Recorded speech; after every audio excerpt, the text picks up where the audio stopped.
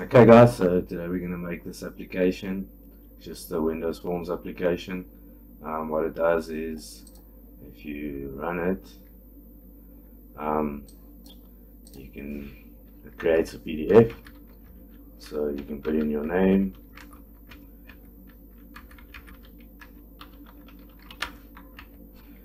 type in your mobile, just putting in some numbers here and then your email address. And then just say save PDF it'll take the name from the first text box. And then you save it. Just show you what it looks like.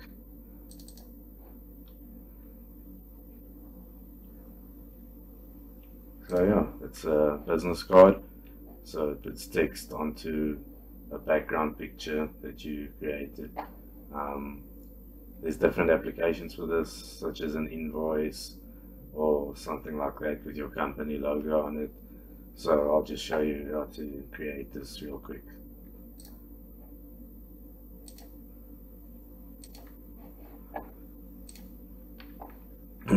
okay, so first of all, I'm just gonna run through this. You just need your four text boxes or whatever you basically want four labels with name, job title, mobile, email, and then one button, the save PDF button. So if you go into the button, what I will do is I will copy the the code for this in for this button into the the comment section. Not the comment section, just the um, underneath the video. I don't know what you call it, but anyway, it will it will be in there, so you can just copy and paste it in. I'll just explain it quickly. Um, you need using statements. Uh, you need system IO.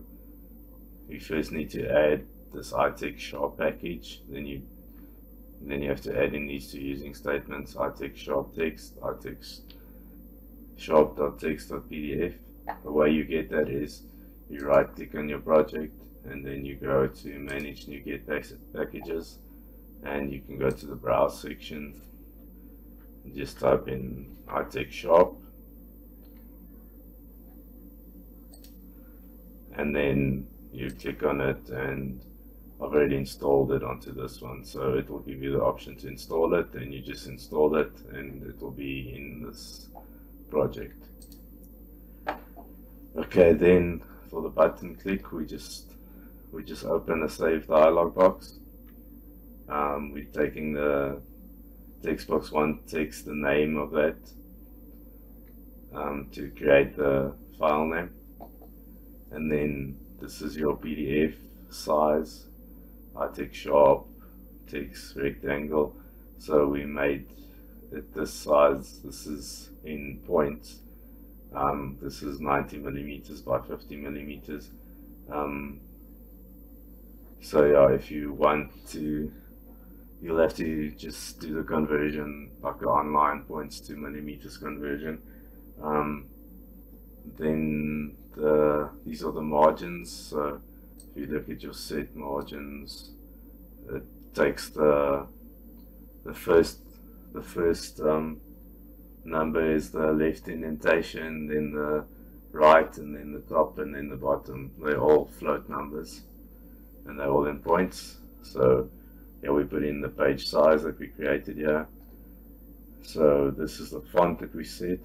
The way you get that is um, you'll have to go to your your system, your C drive, Windows, fonts and then you'll have to choose what font you like and then whichever font you like click on right click on it click on properties and then you'll have to take uh, this path and paste it in there.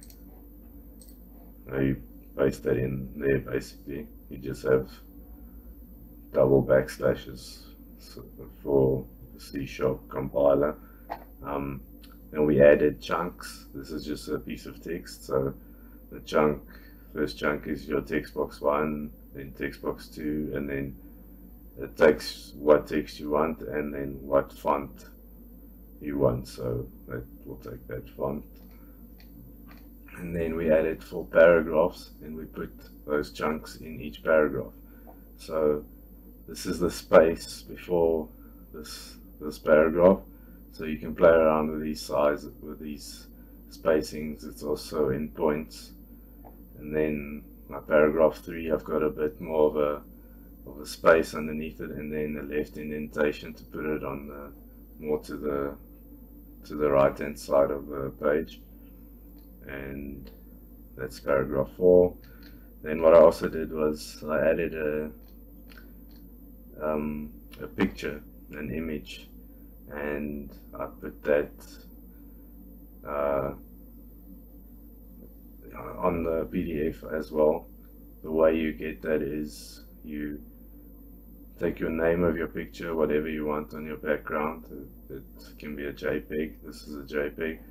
Um, what you do is you go to your picture and then you copy it and then you go to your actual project file.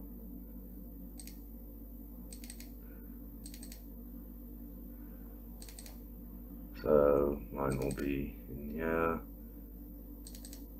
That's this project PDF creator. Then you go into that file and then into the bin file. And then it depends if you if you have a release version or a debug version you're going to just paste it in there and so you'll just go paste it and give it take that name which is this one here now. Um, this is the picture I'm actually using as the background just show you what it looks like. Um, okay. And then it looks in this folder in either if you're running a release or if you're in release or debug mode, it will look in either one of those folders, um, depending if this is set to release or, or debug, and then it will take that, um, go to that folder, use that, that, look for this picture with this name, and then use that as the background. You have to set this to, as underlying so that it's on the background um, the scale we made exactly the same as the as the as the page size, yeah. And then we set the position to zero zero, so it will start on the edge of the page. This is actually what creates the PDF. Um, the file stream, create mode. Then once it's created, it opens the PDF and then it adds all your paragraphs and your pictures and everything to it. And then this is just a thing to catch your exceptions and then you just close the document to finish it off with. So that's basically it. I'll change that to release quickly. Just try one more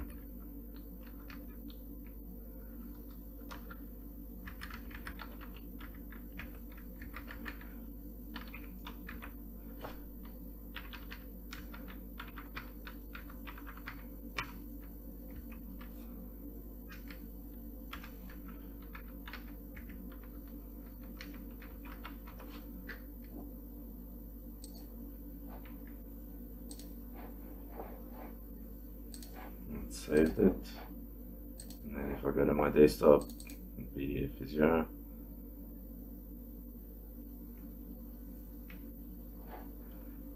And there it is. So this will work nicely for a company with like a set background for their business card and with different employees just to type in the different employees or for like an invoice or something like that. So yeah, that's basically it. I'll copy this this uh, into the information for this video and then yeah, you guys can use it and hope it helps you guys. Thanks for watching and cheers.